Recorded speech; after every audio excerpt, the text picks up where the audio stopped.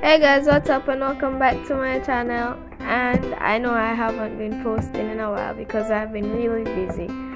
But um today will be my day one of Inktober. I will be combining four days that I have not done as yet. Then after that I will continue and do them day by day or I do some next week.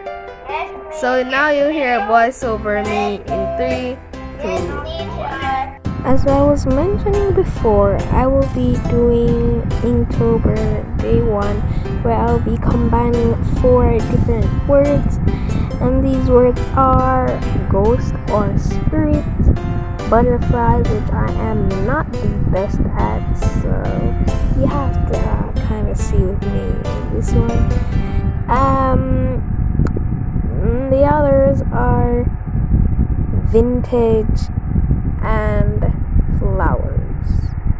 So I hope you guys enjoy, and as we go along, I'll be talking about the process and things like that.